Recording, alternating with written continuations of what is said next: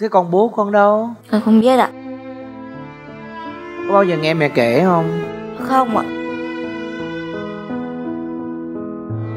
Vì sao nhắc tới gia đình là con lại khóc nè?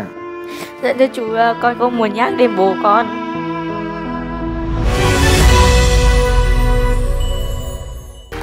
Cảm ơn con nha.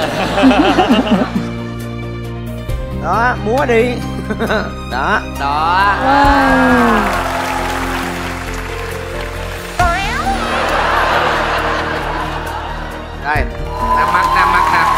đây.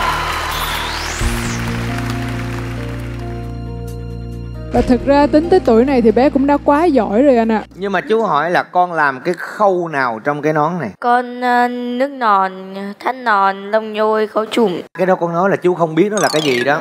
Ồ thật ra mình cũng biết mà không trong nghề không không có Ờ, biết. từ chuyên dụng đó con con làm tới đâu rồi con gọi tên cái giai đoạn đó cho chú coi nha. Vâng. Và bây giờ bé sẽ thực hiện cái ờ, công đoạn mà bé làm Và có sự hỗ trợ của mẹ bé luôn ạ. Xin mời cô ạ.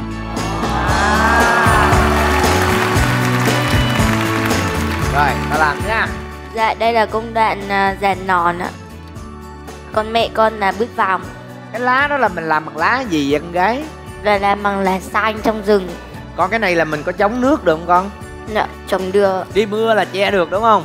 Vâng, ừ, Bước đầu tiên là sẽ lựa ra những cái mảnh lá tốt đúng không? Vâng. Rồi lá xấu thì sao? Thật sao thì dùng để chêm những cái mát bị hở? Ạ.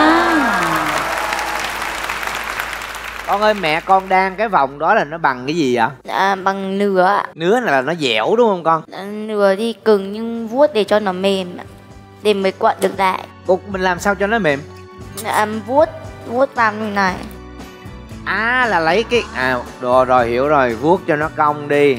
Mà bây giờ cô rành tới mức độ mà không cần thử luôn tự canh canh canh là vô vô vô đúng khuôn rồi đấy. Ờ. À, Đây là bước gì con? Đây là đo là để cho đủ dài để quay được. Ủa là nãy con mới xỏ cước vô cây kim đúng không? Vâng Động tác mà thanh thoát luôn anh. Bé, bé, trẻ. nó, nó còn trẻ. Ừ cỡ tuổi như em mới mệt nha kêu nha. Mắt em hơi bị tốt nha anh. Đúng không? Chỉ hơi cận với hơi loạn chút xíu thôi. Mặt tốt ghê